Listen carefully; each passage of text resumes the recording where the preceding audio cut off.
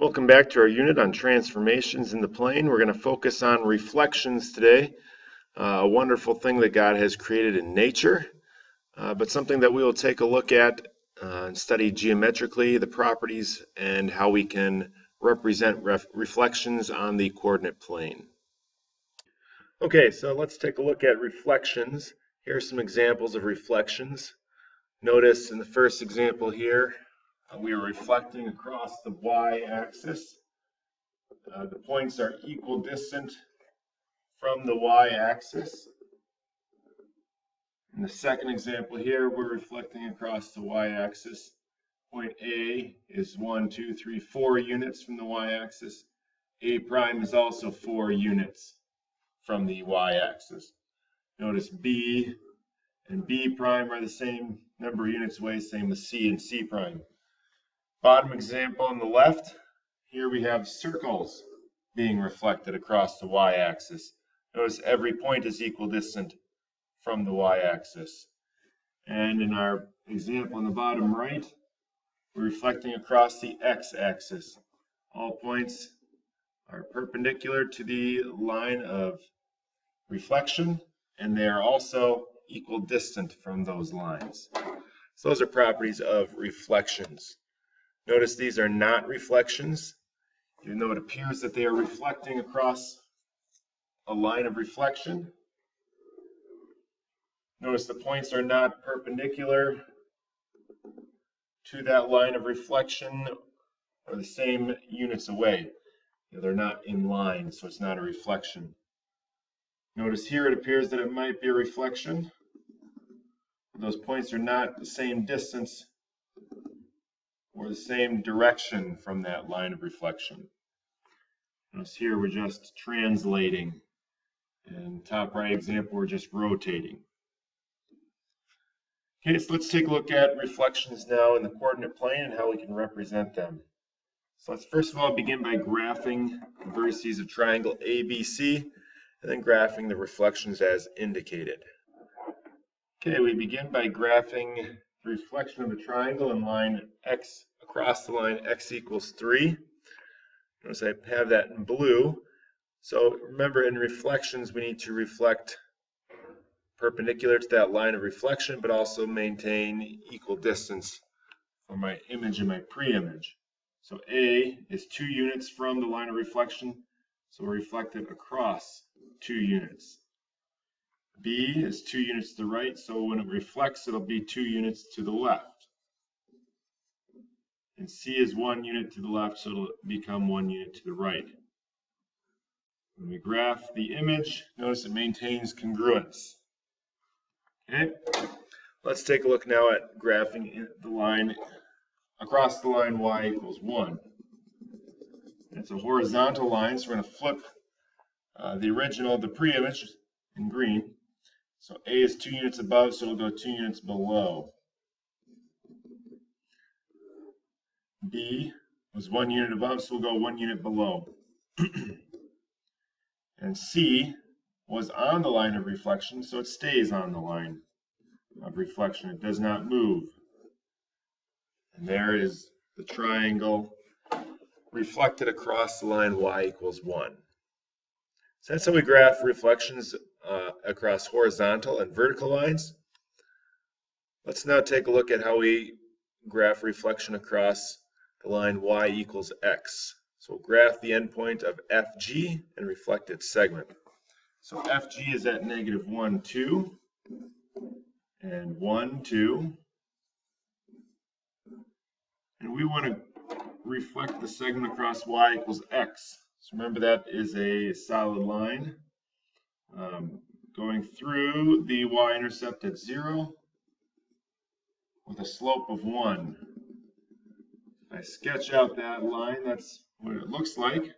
If we want to reflect it, now keep in mind we want to go perpendicular to that line of reflection and maintain equal distance. I'm just going to graph G prime right there. So now if we reflect point F, we need to go perpendicular to that line of reflection. And if I continue that line, maintaining equal distance, f prime will go right here. Now you can see that we've maintained same shape because fg is two units, f prime g prime is two units, and point G and G prime are both equal distant from the line, and so are f and f prime. Let's do the same thing but reflect in y equals negative x. So if we keep the same points that we had from last time, so at negative 1, 2, and 1, 2, and we're going to reflect it with a negative 1 as our slope on this line now. So now we reflect point F across line y equals negative x. And we'll end up landing right here at negative 2, 1. And if we reflect point G, notice that'll take us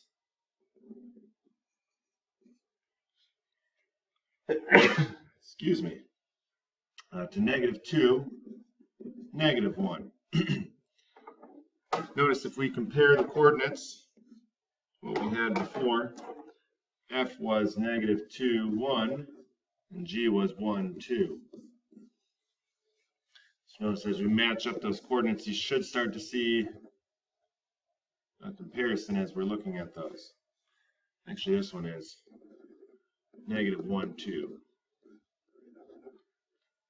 Okay, so take a look at those, you know, see if you see a connection between the coordinates that are reflected across y equals negative x.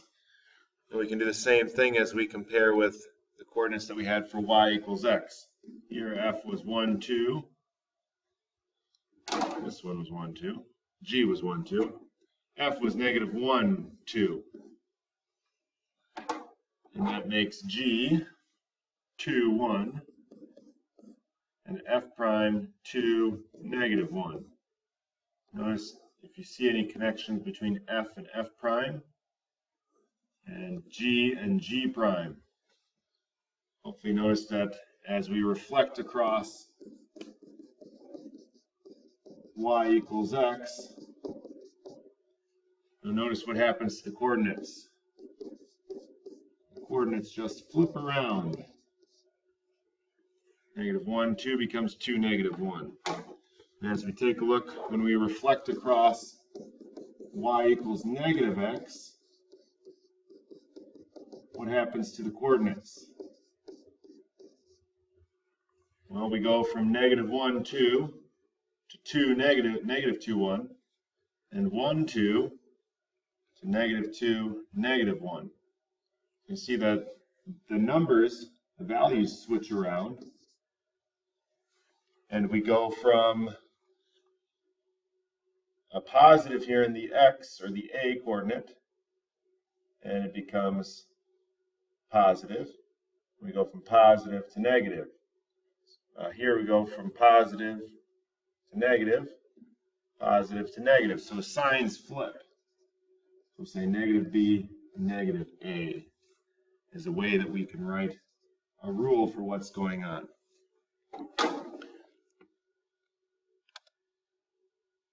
So how do we describe this transformation? Well, in words, well, it's reflecting.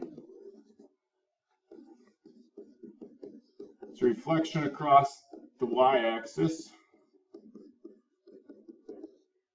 And then let's start to take a look at what's happening to the coordinates. The original is x, y. So if we take a look at all those coordinates, so this one is 0, negative 1. Its reflection is also 0, negative 1. The other coordinate is 3, 3. Its reflection is negative 3, 3. This top point of the triangle is the same in both of them, 0, 3. So we can't really tell what's happening in the coordinates by looking at the top and bottom points. But if we look at this point out here, 3, 3, 3, negative 3, well, what's happening to the coordinates? appears that the x coordinate stays the same, but the y coordinate, or the rather the x becomes its opposite, right? From 3 to negative 3, whereas the y coordinate stays the same. So we'll say opposite of x and y. So as we list that in transformation notation, we'll say, well, xy becomes opposite of x, y, when we're reflecting across the y-axis. so let's put some of those rules down. When we're reflecting across uh, the x-axis, we haven't done that yet, or haven't written down the coordinate rule for that, but you can imagine as we're flipping across the x, the x coordinate will stay, while the y coordinate becomes the opposite. So AB as our original becomes A negative B. And just like we did in the previous example, when we reflect across the y-axis, our coordinates, when the x-coordinate changes to its opposite and the b coordinate stays the same. And we talked about what happens when we reflect the line y equals x. Coordinates flip. So AB becomes BA. And when we reflect in the line y equals negative x, we took a look at that example and saw the coordinate values flipped and they became opposites. So these are the coordinate rules for reflections. You don't necessarily have to memorize these rules. Uh, they're just a good reference that you can use. Uh, you can always remember the rules of reflection that they must, uh, the points must be perpendicular to the uh, line of reflection if you were to draw a line through those points, and they maintain equal distance from the line of reflection. So if you remember that, you'll be fine. Coordinate rules are just helpful if we want to do that a little bit quicker. So let's take a look now at something that's similar to reflection. It's symmetry. Uh, we talk about the line of symmetry, which is kind of like your line of reflection within an object. And we talk about uh, how we can you know, cut that or divide that uh, shape uh, into half. That's what lines of reflection are. So if we take a look at these examples, first of all, see if you can figure out how many lines of symmetry there are, and pause the video and then uh, restart it when you're ready. The first example, we have two lines of symmetry, a vertical line and a horizontal line. Next example, we have the regular hexagon. There are six lines of symmetry. Hopefully you'll start to see a connection between regular polygons if I have a six-sided figure, there are six lines of symmetry. A square, a four-sided figure, has four lines of symmetry. Triangle, a regular triangle, has three lines of symmetry. So you can start to gather regular three-sided figure has three, a regular four-sided figure has four, a regular six-sided figure has six. So any regular polygon, those are polygons, same uh, side length, same angle measures. We'll have that number of lines of symmetry. And figure C has one line of symmetry. So that is all for the uh, discussion on uh, reflections and a uh, small little discussion on symmetry. If you're in accelerated geometry, we're going to get you into the matrix and talk about how we use the matrix for uh, using working with reflections on the coordinate plane.